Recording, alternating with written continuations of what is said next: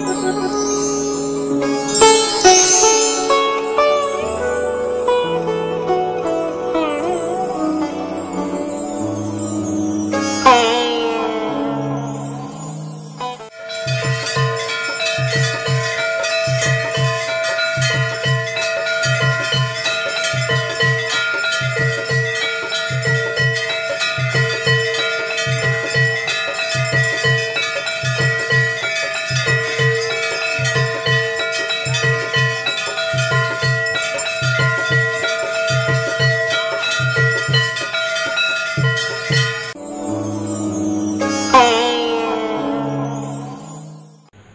देखिए,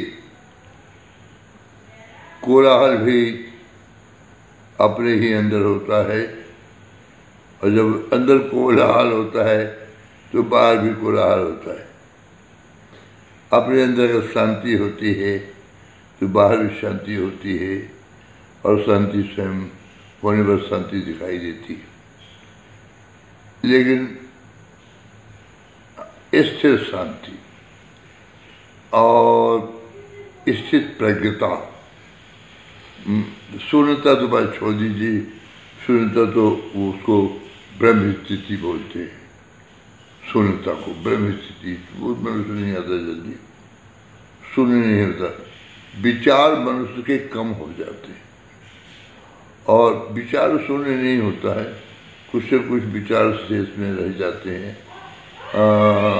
यही कि ईश्वराधीन होने पर अगर मनुष्य जो साधक सिद्ध सुजान जब भी ईश्वराधीन हो जाता है, अपने आप ईश्वर को समर्पित कर देता है तो मन के उसके संकल्प विकल्प न्यून गति की चले जाते हैं। अगर कोई उसका संकल्प उठता भी है और विकल्प उठता है, वो ईश्वर के प्रति ज़्यादातर होगा, भक्ति के प्रति होगा योग प्रति होगा एक ज्ञान के प्रति होगा धर्म के प्रति होगा सतोगुणी विचार होंगे। और तमोगुणी रजोगुण विचार उसका नहीं हो सकते। ईश्वर अधीन है वो। तो जिस आदमी के अंदर अंदर कोलाहल नहीं है। कोलाहल मतलब ये, ये बाहर की भाषा बोल कोलाहल।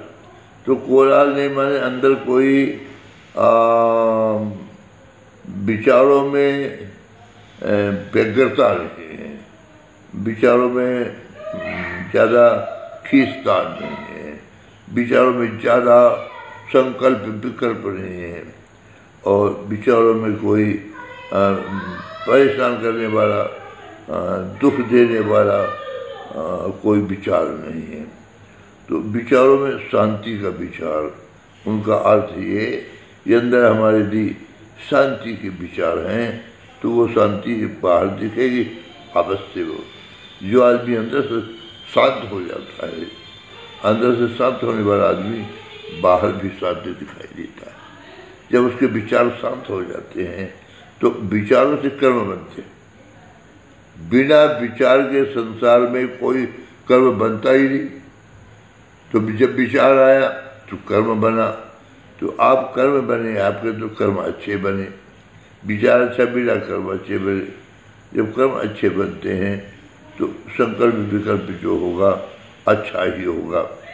तो जो आप महसूस कर रहे हैं अंदर शांति, इसे मन शांत होने से शांति होती जो भी शांति अशांति का कारण है, वो मन मन यदि शांत है तो आप शांति में हैं।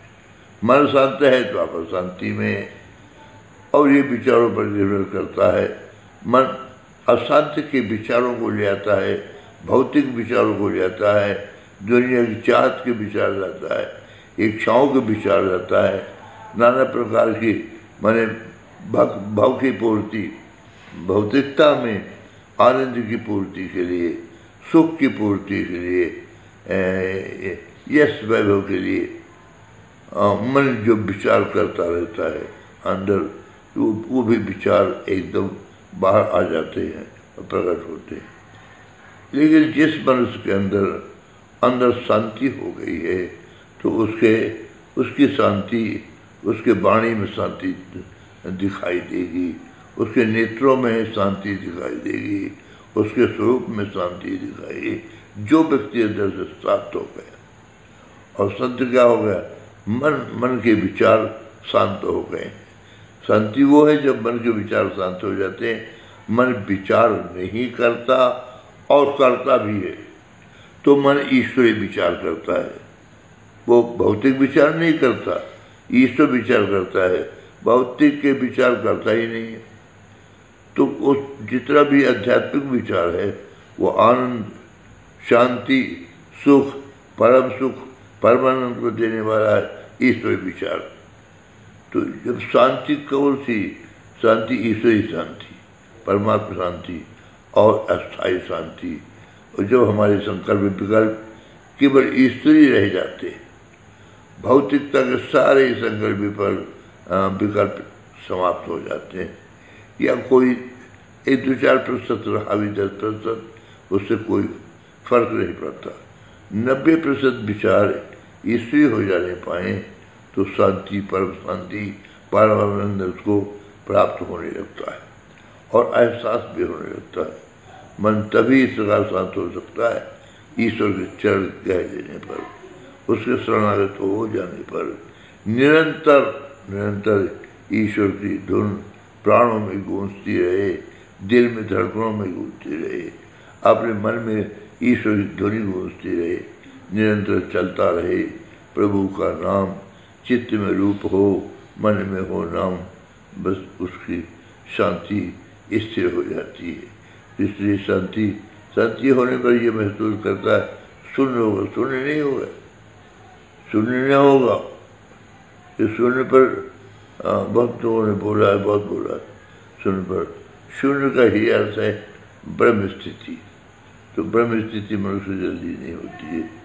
तो पर महसूस करता है, जब संकल्प विकल्प कोई नहीं होते हैं, नहीं होते तो वह परम शांति विशेष महसूस करता है। और समझता है कि दिल सुन हो गया, अंदर सुन हो गया, सुन नहीं हुआ। मन संकल्प विकल्प करना बंद निन्यानवे प्रतिशत बंद कर दिया और जैसे ही मन संकल्प विकल्प बंद करता है न्यून गति में चला जाता है, आपकी आराधना अग्रसर हो जाती, आगे बढ़ जाती, आप अध्यात्म में आगे बढ़ जाते हैं आप धर्म में आगे बढ़ जाते हैं और भक्ति के मार्ग में आप मन संकल्प विकल्प नीचे स्तर चला गया है, और ईश्वर, ईश्वरी संकल्प विकल्प आगे बढ़ गया है, आप अध्यात्म के मार्ग में बहुत आगे बढ़ गए बढ़ जाते हैं। ये जीवन का परम सत्य है। सत्य यही है, ईश्वर के मार्ग में जीवन को लगा देना चाहिए। जीवन को लगा देना चाहिए। मैंने जीवन का, इस शरीर का उपयोग भी मेरे समझते केवल भौतिकता के लिए नहीं है। उपयोग इस शरीर का और इस मन का, इस बुद्धि और चित्त का प्रयोग ईश्वर के लिए है। और ईश्वर के लिए प्रयोग किया जाएगा, तभी परम शांति, परमानंद, आनंद की उपलब्ध हो सकती। हमको बड़ी खुशी है कि आपने प्रसिद्ध ये किया। अंदर सोने सोने नहीं, अंदर शांति है, मन सोचता कम है, विचार कम दुनिया के लिए आता है। आप शांति महसूस कर रहे हैं। उस शांति को महसूस करने के आपको लगता है सुन सुन नहीं हुए, सुन कोई होता। शून्य होने में शरीर समाप्त हो जाता है। जब शून्य हो जाए तो शरीर न रह सकता इसलिए एक आध पॉइंट उसका रहा आता है। एक आध बातें भी रहती इसलिए शून्य स्थिति नहीं होती आत्म स्थिति होती परमात्मा स्थिति होती है परम शांति की स्थिति होती है। ये परम सुख की स्थिति होती है। पर, पर शून्य स्थिति नहीं होती। शून्य स्थिति में शरीर हमें नहीं कर तो शून्य हो गए जब शून्य हो गए तो पुकारेगा उसके खत्म बात। तो इसलिए ये एहसास करना बड़ी अच्छी बात इससे सिद्ध होता है कि आपकी प्रार्थना भगवान को सुन रहे हैं। आप जिस ईश्वर के मार्ग में चल रहे हैं, मार्ग आपका ठीक है चल चलिए मुझे ऐसा लगता है कि अभी प्रारंभिक स्थिति है चल रही और अच्छी स्थिति है, और इसे बनाए रखिए। और चलिए जीवन का परम सत्य है परमात्मा पाने के लिए प्रयास करना भक्ति करना ये होगा ज्ञान करना। जीवन को समाप्त करना अज्ञानता का सूचक है। केवल भौतिक में जीवन लगा कर देना माया में समाप्त कर देना अरे माया में तो पहले से लगा ही आता है। मा, माया से माया से छुटकारा पा जाना। और छुटकारा पाने के लिए केवल ईश्वर का नाम दिया गया है। कोई भी बेनाम ईश्वर का हो, अंगीकार कीजिए, स्वीकार कीजिए। ईश्वर के नाम में अटूट श्रद्धा, अपार श्रद्धा, प्रेम, भावना क्योंकि नाम और नामी एक ही नाम से नामी प्रकट होता है। इसलिए नाम और नामी में अंतर नहीं होता। तो नाम लेना चाहिए निरंतर। उसका स्मरण करना चाहिए और मन को देखते रहना चाहिए कि मन क्या करता है। मन से स्मरण हो रहा कि नहीं हो रहा, वह हर व्यक्ति जानता है, अपने मन की बात हम अबुद्धि बताती है कि मन क्या सोच रहा है, कहाँ जा रहा, कहाँ, क्या कर रहा है, न्यायाधीश है, निर्णय दे देती है। पर मन को रोकती नहीं, झंडा लेके मन को दौड़ते नहीं, चुप नहीं करो। मन से कोई मत बुद्धि से। बुद्धि आपको न्यायाधीश है, उसने फैसला दे दिया। ये ये पदार्थ है, ये पदार्थ है, इससे लाभ है, इससे नुकसान और मन जो स्वभाव, बड़ा शक्तिशाली। इतना सरल नहीं है, इतना सुबोध नहीं है, इतनी मन में कोमलता नहीं है, कि आपको ईश्वर से मिला दे लेकिन भजन का प्रभाव ज़रूर निरंतर भजन करने वाला सब कुछ भगवान को प्राप्त कर सकता है बोलो शारदा मैया